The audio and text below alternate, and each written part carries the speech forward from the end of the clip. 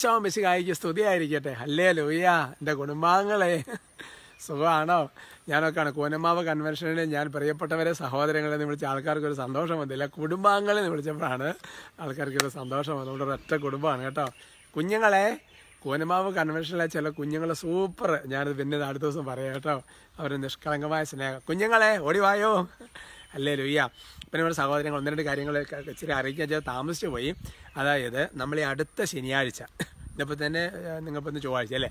അടുത്ത ശനിയാഴ്ച ഇരുപത്തി ഒന്നാം തീയതി നമ്മുടെ പത്താം ക്ലാസ്സിൽ പഠിക്കുന്ന കുട്ടികൾക്ക് വേണ്ടിയിട്ട് നമ്മുടെ കുറവലങ്ങാട് പി ഡി എം സെന്ററിൽ ഒരു ഒരു ഏകദിന ശുശ്രൂഷ പോലെ വെച്ചിട്ടുണ്ട്.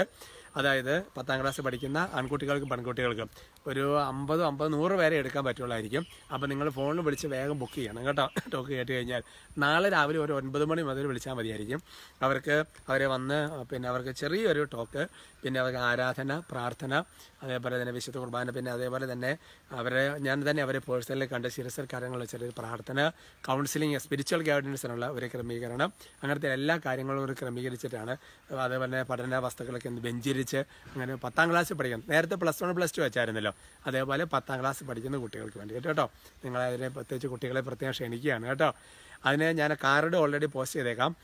അതിന്റെ ഫോൺ നമ്പർ വേണമെങ്കിൽ അറിയത്തില്ലെങ്കിൽ ഒന്ന് എഴുതിയെടുത്തോ. എഴുപത് ഇരുന്നൂറ്റി അമ്പത്തഞ്ച് മുപ്പത്തി മൂന്ന് അഞ്ഞൂറ്റി നാൽപ്പത്താറ് കേട്ടോ. അല്ലേ ലോയ്യ ഇന്ന് ഏതായാലും ആ പത്താം ക്ലാസ്സിലെ കുട്ടികളുടെ ശുശ്രൂഷ വലിയൊരു കൃപയുടേതായി മാറാൻ വേണ്ടി ഇപ്പം തന്നെ നമുക്ക് മധ്യസ്ഥം വഹിച്ച് പ്രാർത്ഥിച്ചു ഒരുങ്ങാം. നന്മ നിറഞ്ഞ മറിയമേ സുസ്തി കർത്താവ് അങ്ങയോട് കൂടെ സ്ത്രീകളിൽ അങ്ങ് അനുഗ്രഹിക്കപ്പെട്ടവളാകുന്നു അങ്ങയുടെ ഉദരത്തിന് ഫലമായി ഈശോ അനുഗ്രഹിക്കപ്പെട്ടവനാകും പരിശുദ്ധ മറിയമ്മേ തമ്പുരാന്റെ അമ്മേ പാപികളായ ഞങ്ങൾക്ക് വേണ്ടി ഇപ്പോഴും ഞങ്ങളുടെ മരണസമയത്തും തമ്പുരാനോട് അപേക്ഷിച്ച് ആമേ പ്രൈസ് അലോൾ പ്രിയമുള്ള സഹോദരങ്ങളെ ഇന്നത്തെ വിഷയത്തിന്റെ തലക്കെട്ട് സഹനത്തെ പേടിക്കരുത് എന്നുള്ളതാണ്. വാസ്തവത്തിൽ നമ്മളെ സംബന്ധിച്ചിടത്തോളം ഈ സഹനം വരുമ്പോഴത്തേക്ക് മനുഷ്യന് ഭയങ്കരമായിട്ട് അങ്ങോട്ട് ഒന്ന് പെർപ്ലക്സഡായി ആകെ ഒരു ഭയങ്കര ബുദ്ധിമുട്ട്. അങ്ങനെയല്ല. വാസ്തവത്തിൽ ക്രിസ്ത്യാനിറ്റി എന്ന് പറയുന്നത് അതായത് അത് സഹനത്തിലൂടെ കടന്നു പോകുന്നൊരു സംഭവമാണത് ഈശോയുടെ കുരിശുമരണം പീഡാസഹന ഉത്ഥാനവും എല്ലാ വിശുദ്ധാത്മാക്കൾ നോക്കി എന്തുമാത്രം സഹിച്ചാണ്. കാരണം സഹനത്തിലൂടെയാണ് ശുദ്ധീകരണത്തിലേക്ക് വരുന്നത്.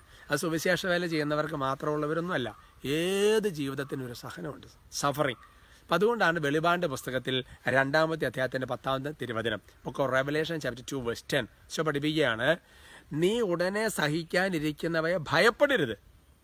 അപ്പോൾ അതൊന്നും അങ്ങനെ പറയാൻ കാരണം എന്താ? കാരണം ഈ സഹനം വരുമ്പോൾ ഭയം വരുമെന്നറിയാം. മനസ്സിലാവുന്നുണ്ട്. അതുകൊണ്ടാണ് അതിനെക്കുറിച്ച് ഒരു മുൻകരുത് ദേ ദ ഓപ്പറേഷൻ ഇങ്ങനെയായിരിക്കും ദേ ഇങ്ങനെ ഇങ്ങനെയായിരിക്കും എന്നൊക്കെ പറയുന്നത് എന്തുകൊണ്ട് ഒരു ബലം തരിക അല്ലെങ്കിൽ ഇന്റർവ്യൂ ഇതാ ഇങ്ങനെയാണ് അല്ലെങ്കിൽ ആദ്യമായിട്ട് ഫ്ലൈറ്റ് കയറുന്നവർ അല്ലെ ഇങ്ങനെ കാര്യങ്ങൾ പറഞ്ഞു കൊടുക്കും. പേടിക്കാതിരിക്കാൻ വേണ്ടിയിട്ട്. എന്ന് പറയുന്ന പോലെ കർത്താവിന്റെ ആത്മ വെളിപ്പെടുത്തുകയാണ്. നീ ഉടനെ സഹിക്കാതിരിക്കുന്നത് നീ ഭയപ്പെടരുത്. കാരണം എന്താണെന്നറിയാം സഹോദരങ്ങളെ? കാരണം അതിനെ ഭയപ്പെടാതെ അതിനെ അതിജീവിച്ച് പോകണം എന്നുള്ളതാണ് ദൈവത്തിന്റെ ഹിതമെന്ന് പറയുന്നത്.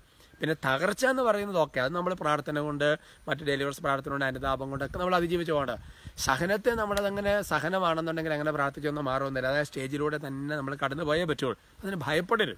പൗലോസിലേക്കാട് കർത്താവ് പറയുന്നത് ഭയപ്പെടരുതെന്ന് പറയുന്ന കാര്യമാണ് അതുകൊണ്ട് ഇത് പ്രത്യേകം നിങ്ങളൊന്ന് ശ്രദ്ധിക്കണം കേട്ടോ. ഞാൻ ശ്രദ്ധിക്കാം. അല്ലേ ലോയ്യ നമുക്ക് ഒരുമിച്ച് ശ്രദ്ധിക്കാം ഈശോയെ സ്തുതിക്കുന്നു ആരാധിക്കുന്നു കർത്താവെ. അങ്ങയോടുള്ള വലിയ സ്നേഹമാണല്ലോ കർത്താവ്. വചനത്തിലൂടെ എല്ലാം അങ്ങ് അങ്ങക്ക് അങ്ങേക്ക് ഞങ്ങളോടുള്ള സ്നേഹമാണല്ലോ വെളിപ്പെടുത്തുന്നത്. കർത്താവ് ഞങ്ങൾക്ക് അങ്ങയോട് വലിയ സ്നേഹമാണ് കർത്താവ്. അതുകൊണ്ടാണ് ഞങ്ങൾ വചനം ശ്രമിക്കുന്നത് കർത്താവേ ഇവരെല്ലാവരും മനസ്സറിഞ്ഞ് അനുഗ്രഹിക്കുകയാണ് കർത്താവെ. സഹനത്തിലൂടെ പോകുന്നവരെ വലിയ ഞെരുക്കത്തിലൂടെ കടന്നു പോകുന്നവരെ കർത്താവ് ഇവരെല്ലാം പ്രത്യേകം ആശീർവദിക്കുകയാണ്. ഈ വചനത്തിന്റെ അത്ഭുതകരമായ ശക്തി. ഈ വചനം ആവർത്തിച്ച് ആവർത്തിച്ച് പറയുമ്പോൾ തന്നെ ഈ വചനത്തിൽ നിറഞ്ഞിരിക്കുന്ന അത്ഭുതകരമായ ശക്തിയും ഈ വചനം ജീവിക്കാൻ വേണ്ട കൃപ ഓരോരുത്തരും വന്ന് നിറയട്ടെ കർത്താവെ. സാഹചര്യങ്ങൾ എന്ത് തന്നെ അതിജീവിക്കാൻ കൃപ ലഭിക്കട്ടെ. എല്ലാ തരത്തിലുള്ള സഹനത്തിൽ നിന്ന് ഒളിച്ചോടി പോകാൻ തക്കവ എല്ലാ പ്രലോഭനങ്ങളും മാറിപ്പോകട്ടെ കർത്താവ്. കർത്താവ് ഇവർക്ക് നല്ല ആത്മധൈര്യ ബലവും കൊടുക്കുക. ദുഷ്ടാരോട് ഇതിനെ ബന്ധിക്കുന്നവർ. ഈശോയുടെ നാമത്തിൽ ആശ്രയിക്കും ഇപ്പോഴും എപ്പോഴും എന്നേക്കും. അമേൻ